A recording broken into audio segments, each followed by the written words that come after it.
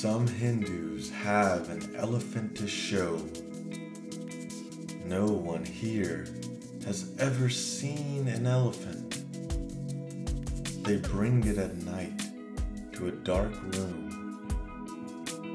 One by one, we go in the dark and come out saying how we experience the animal. One of us happens to touch the trunk, a water pipe kind of creature. Another, the ear, a very strong, always moving back and forth fan animal. Another, the leg.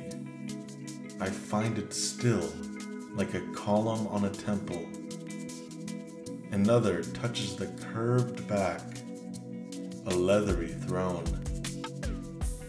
Another, the cleverest, feels the tusk, a rounded sword made of porcelain.